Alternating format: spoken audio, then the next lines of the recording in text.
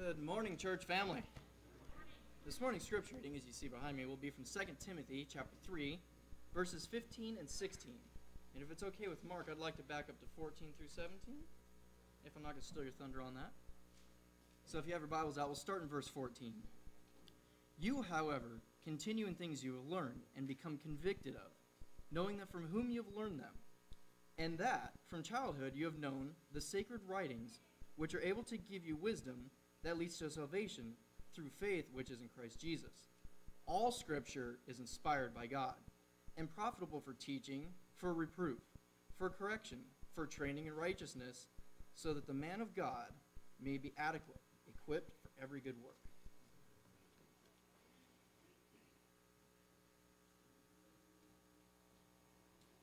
Good morning once again. No thunder stolen. That's not my thunder. That's God's thunder. And uh, it is it is great to be here. Had a busy week. I know that many of you have as well. Mothers, thank you. Thank you very much. Happy Mother's Day to you. The lesson today is not a, a Mother's Day sermon, but it certainly um, is about mothers and their influence. We have a um, a blessed opportunity with our children for a short period of time to make a difference. And our mothers, while the father's responsibility is given in Scripture, our mothers spend more time with our children than the fathers do typically. And their influence continues on for generations. And we're so thankful for our moms. I know I'm thankful for mine. I'm thankful for her mom. Uh, her mom is one of the reasons that I'm doing what I'm doing today. And her influence continues every time I stand up and teach or preach or have a Bible study. Her influence is continuing, though she's been in eternity since 1993. Um, influence is an important thing, and that's what we're going to talk about this morning. Would you pray with me, please? Holy Father, we thank you for the day that you've given us and for the blessings that are ours. And Father, we ask you to go with us as we look into another portion of your word. May we do this, Father, with open hearts and open minds, looking forward to a message from you and the influence that that brings in our lives. May we share that with others, Father, in Jesus' name. Amen. Let me ask you a question. Who is the greatest influence on your children? Is it a sports star like LeBron James? Because to some people, that's the biggest influence they have in their life. Maybe it's a celebrity like Ellen. Maybe she's a great influence on your children. Leonardo DiCaprio. Actors and actresses can be very influential. Or artists, singers like Pink can be very influential. And I'm not saying that these people can't do some good with their influence, but folks, if that's who the primary influence is in your children's life, you have failed as a parent. Didn't even get one amen, I'm telling you. Uh, uh, there's some guilty feeling people out there, I guess. Because I'm going to tell you that there are some really good people who can be influences in your lives. And there are some others that if we delegate that influence to, we will find ourselves one day not knowing our children and them not knowing our Lord. We must be very careful. We had a devotional in our book from our sister Linda Collins, and we're grateful for that. And the lesson today is taken from her devotional. And she, she titled hers My Legacy of Influence, and our lesson today is A Legacy of Influence. The first part of 2 Timothy chapter 1, verses 3 through 7. I thank God, whom I serve with a pure conscience, as my forefathers did, and as without ceasing I remember you in my prayers night and day, greatly desiring to see you, being mindful of your tears, that I may be filled with joy when I call to remembrance the genuine faith that is in you, which dwelt first in your grandmother Lois and in your mother, Eunice, and I am persuaded is in you also. Therefore, I remind you to stir up the gift of God which is in you through the laying on of my hands. For God has not given us a spirit of fear, but of power and of love and of a sound mind. Did Paul know the legacy of influence present in Timothy's life? He certainly did, and he even expresses it at the opening of this that we know as his last writing. It's the last preserved writing that we have, the last inspired writing that we have of his just prior to his execution. And he is declaring to Timothy that I knew your mother, I knew your grandmother, I know the influence that they had in your life, I know the faith that they had, and I know that that faith is dwelling in you. We often talk about it, faith not being inherited. And, and I believe that. I don't believe that my children can have my faith, but they can learn from my faith and see my faith and develop their faith. So can those round about us, not just our children. And while the instruction that we're going to receive from God's Word today may be more geared towards parents, this lesson is for every person that desires to be influential in another person's life. Because the pattern is the same. This legacy of influence. Lois and Eunice. I want you to look at this phrase genuine faith. A sincere faith. Genuine. If you've been around Christians long enough, you have known people whose faith was not genuine. You can tell by the way they live, you can tell by uh, what they say with their mouth, but what their actions betray. Because, quite frankly, we know that if our actions and our words don't match one another, that people are usually going to believe the worst of the two. And I can claim that I am a rooster and I am strutting around in the yard, taking care of all of the chickens in the yard. And I can claim that till the day I die, but when you look at me, you're not going to see a rooster, you're going to see a human being. My actions in my life betray my words. And it is the same with our influence. Our influence has to originate with a genuine faith. It's one thing to know all the right answers, it's another thing to live those answers.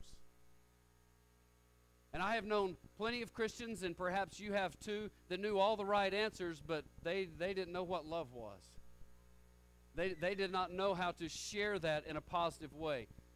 Parents, and in particular mothers and perhaps grandmothers, are in a critical position in the developing children in our lives.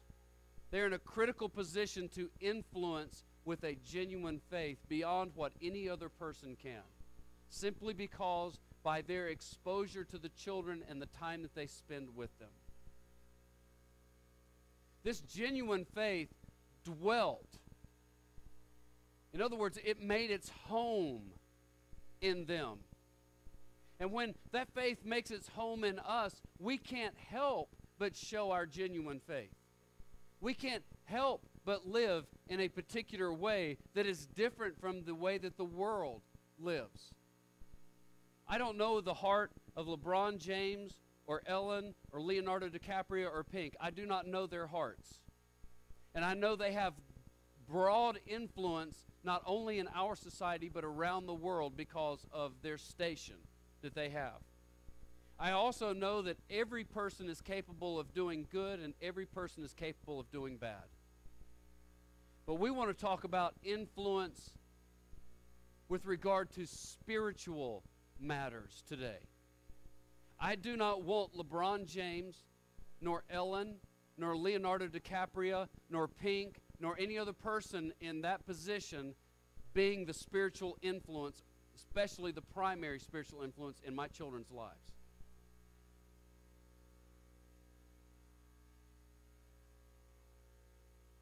I'm going to go off script. I know, Ken, you've done that before. Anybody that's preached has. Before I get into the rest of the lesson, I, want to talk to you about something. All right, this is Mark. Okay? When when you're trying to raise your children in the nurture and admonition of the Lord, and Sunday dinner is had, and, and you have roast preacher and elders for dessert, your influence is not going to be positive. If you've got something that I need to know about, you come talk to me. Don't talk to your kids about it. Okay? Come talk to me about it. Let's work it out. Okay? If I, if I said something or I quoted something wrong or I misspoke or you disagree with something I say, come talk to me. Don't talk to your kids about it over lunch. Don't talk to it. Don't talk to your wife or your husband about it in the car on the way home. Your kids are hearing and absorbing everything that you say. If you're going to be the spiritual influence for your kids, you've got to hold up things. I can remember as a child, it, maybe even to an unhealthy level, thinking the preacher was, you know, super great. You know why? Because my parents made it that way. And, and we need to understand that our preachers are human beings just like us, because I certainly have my flaws. But if we are constantly berating programs and the people running those programs and the teachers and the preacher and the elders around our children, we shouldn't be surprised when they turn 18 years old that we can't get them back to church. Because we're going to influence our children one way or the other. Back to script. Lois and Eunice. Folks, I don't know a whole lot about Lois and Eunice, but you know what I do know? I know that they had a genuine faith that dwelt in their lives and that they had a strong influence on Timothy, who plays a prominent role in the early church. He is busy with the Apostle Paul. He has his shortcomings too, just like I do but he is an influential person because he was influenced positively by his mother and his grandmother. And it made a difference in his life. And you know, every person that you come in contact with, you are influencing with the same influence that you have received in your life. And they were, through him, sharing with others.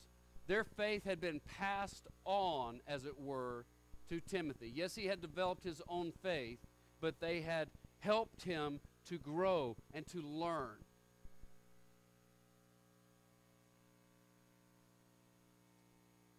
From our scripture reading a few moments ago, and yes, Joel, I was going to get to those two verses anyway, so thank you for reading those for us. And, and thank you for all the capable things you do for the church. There's a certain lady sitting over here that is your Lois, her Sister Margie.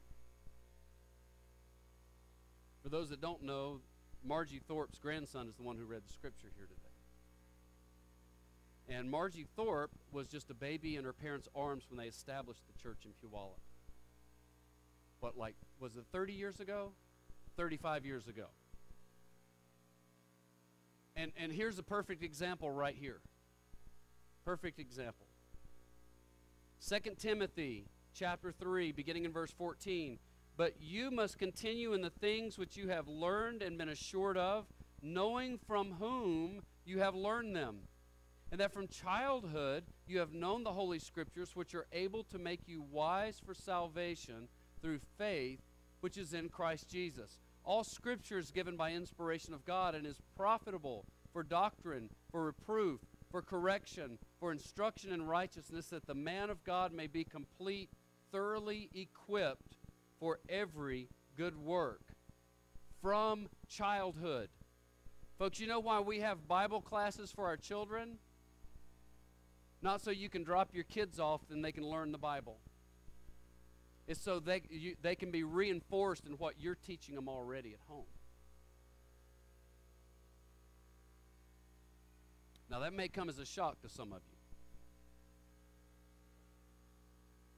But I'm going to tell you that the teacher in your children's Bible class is not the person who should be growing your children spiritually. They should be uh, assisting you in growing your children spiritually. From a childhood, you have known these things that are able to make you wise. This is, this is, oh boy. This is the kind of thing that that we miss. We miss this.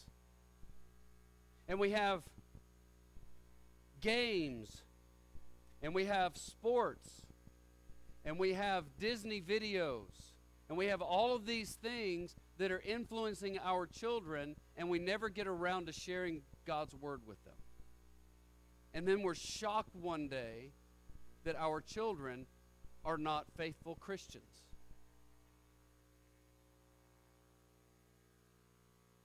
We need to leave a legacy of influence in our children's lives. And it starts with the scriptures, it starts with the word. And those of us who grew up in a faithful situation in our houses probably can remember having the Bible read to us or us reading the Bible with our, our parents around. You, you notice the picture. They're not reading the encyclopedia in that picture. That family is sitting there reading the Bible together. They're sharing in that together. I can remember as a child that every night before we went to bed, we would my brother and I were 16 months apart would take turns reading the Bible with our parents sitting on the side of our beds. I remember that.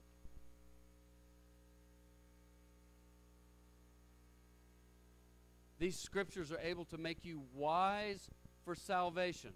Well, why isn't my child coming to church anymore? Why isn't my child faithful in the church? Why, why, why, why, why? Have we started where we need to start? Folks, and I'm going to tell you, in every family that has one child or 11 kids, bless your hearts. 11 children, Steve. Woo! Every family is going to have a child that will be raised right well, not every family does, but th- they raise their children the way that they should, and some of those families are going to have kids that decide anyway to go somewhere else. Okay? Proverbs 22 6, train up a child in the way he should go, and when he is grown, he will not depart from it, is a principle. It is not a hard and fast rule. I have seen it. I have seen a family with four children, all raised identically, and one of them strays as an adult because free will kicks in and they make a decision. However, that does not excuse us from laying that firm foundation, which is Jesus Christ and the scriptures in their life, so that they have the opportunity to develop that genuine faith. We are responsible for that. They are responsible with what they do with it when they mature. That's the difference. And it is profitable to make us complete, lacking nothing.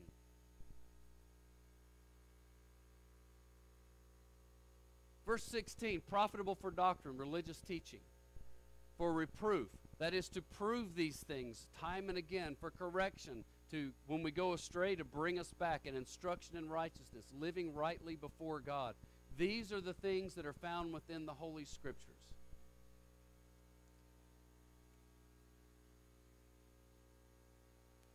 Got a slide in there twice. There we go. Ephesians chapter 6, 1 through 4. If, you, if you're a, uh, a parent, you really like those first three verses. Children, obey your parents in the Lord, for this is right. Honor your father and mother, which is the first commandment with promise, that it may be well with you and that you may live long on the earth. I heard somebody explain verse 3 one time as if you don't obey your parents, they'll kill you. Hopefully, that's not the case. But we love that part of it, but we kind of just breeze right by verse 4, don't we? Fathers, do not provoke your children to wrath, but bring them up in the training and admonition of the Lord. Some of the older versions say, in the nurture. Nurture. That word has at its root the rearing of a child. Somebody told me one time that you raise crops and you rear children. But we always talk about raising our kids, don't we? But this rearing, it, it is nurturing them along, helping to grow and mature them. Admonition is instruction. So we nurture them as a parent, but we also instruct them in the Lord to bring them up. How do we do this? The first thing, we need to be praying with our children. Can you imagine Lois and Eunice not ever having prayer with their young son, grandson? Praying with your children, helping them to learn from that.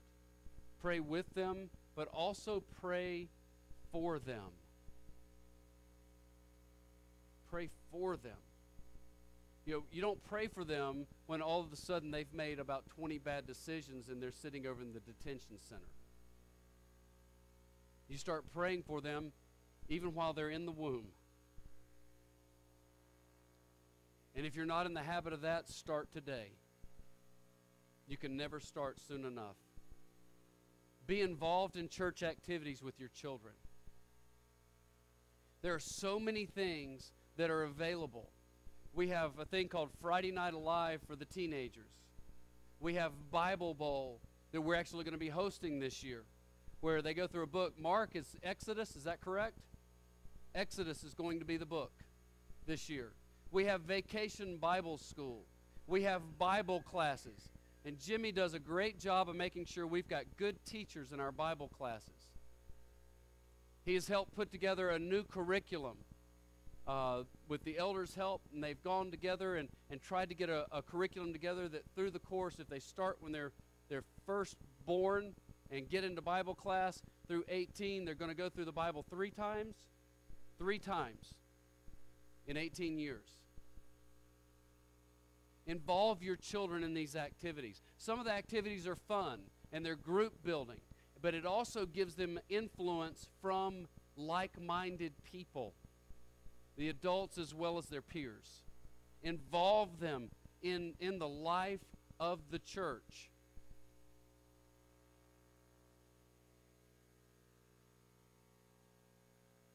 And study God's Word with them. Study God's Word with them help them to see that which makes them complete and thoroughly equipped for every good work. Help them to see that which from a childhood can make them wise unto salvation.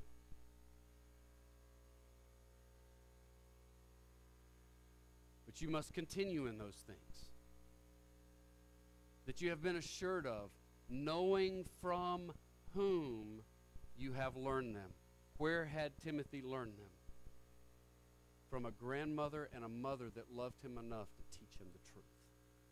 Let's love our children enough to teach them the truth. Let's love our parents enough to encourage them to do these things. Let's love them enough to help them, to provide opportunities for them.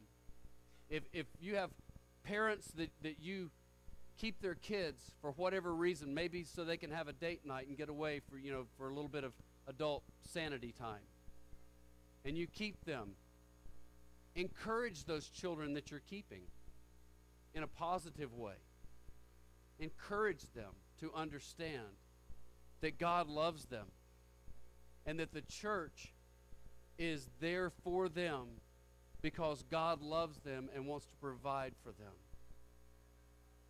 It is so important for us, every single person in the body of Christ, to be an influence over the young people in our Christian community. And as new children come our way, either by birth or by coming through the door with their parents or with their friends, let's encourage them. Let's love them. Let's teach them. And let's help them to grow and develop a genuine faith that it may dwell with them, and that they may be made wise unto salvation. Would you pray with me, please? Heavenly Father, we know how difficult it is to raise children. We know there's so many things that are tearing at us, whether our jobs or relationships, hobbies, entertainment, whatever it may be, Father. Instill within us the desire to be the main influence in our children's lives and set those things aside for ourselves and show our children there's a better way. Help us to lead them in the paths of righteousness through your precious word, to be the positive influence that we can be, and to show them what it is that truly should influence their lives. Your scriptures. Help us also to help those parents, Father, who may be struggling, who may be by themselves. Help us to encourage them. Strengthen us to do the things that we can do to lighten their load, to bear their burdens. For all of our parents, for all of our children, and for all of our members, Father, help us because we cannot do it without you. Strengthen us